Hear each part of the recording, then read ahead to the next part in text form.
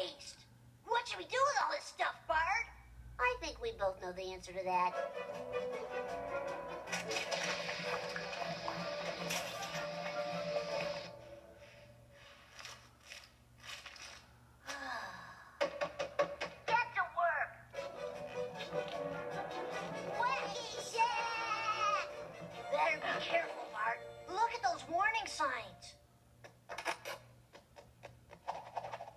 Problem, Milhouse?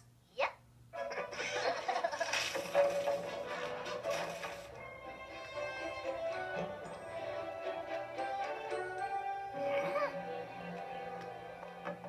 Homer, Homer, why aren't you at work? The car won't start.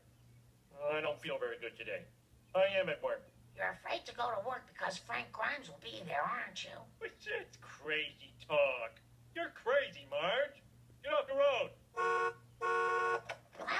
To him sometime, and when you do, I'm sure he'll be just as anxious to make up as you are. No, he won't. He hates me. He doesn't hate you. He just feels insecure because you're getting through life so easily, and it's been so difficult for him. Yeah, yeah, that's his problem. He's a nut. It's not about me being lazy. It's about him being a crazy nut.